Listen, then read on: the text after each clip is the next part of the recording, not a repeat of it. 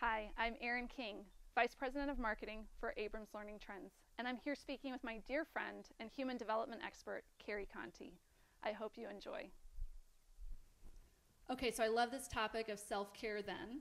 And so we're talking about the fact that children in the classroom might all be in different states of their brain. Mm-hmm. The teacher is in different states of her brain. Right. So talk to us a little bit about what self care is Mm-hmm. um, and, and why that is so important in relation to being resourced. Great.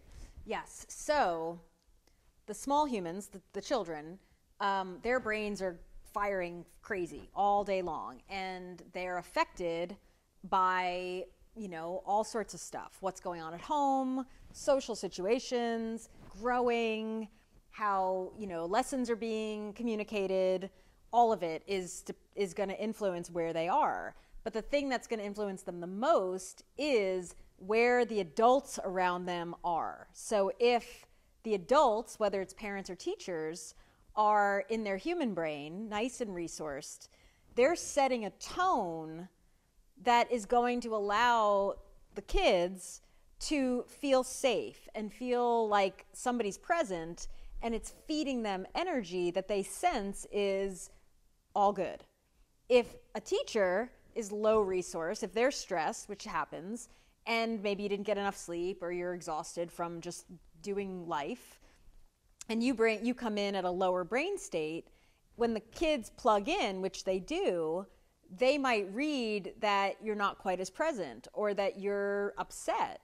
And because the brains are talking, they they they read that and then they go to that part of the brain in themselves. So when I talk about self-care, it's really because the, the adult is setting the tone for the classroom.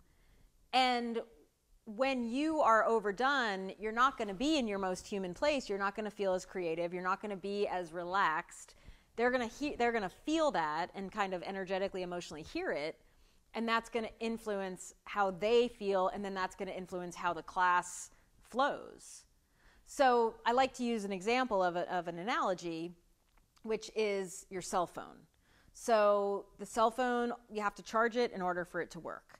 And you plug it into the wall and it juices up, and then you go about your day, and all day long it's draining.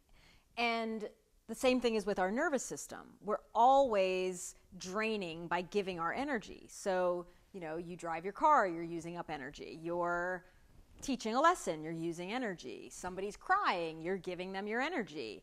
So, all day long, you're using up your resources and you've got to plug back in in order to charge back up so you have more to give.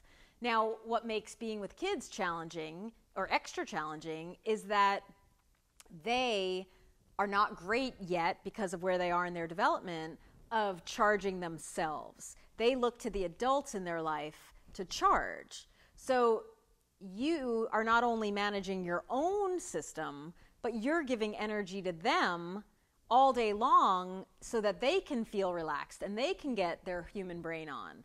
And so, as a teacher, you becoming really proficient at knowing where you are in your brain and then how you can get yourself full up enough to be in the human state, the human brain state, is imperative to keeping the classroom flowing.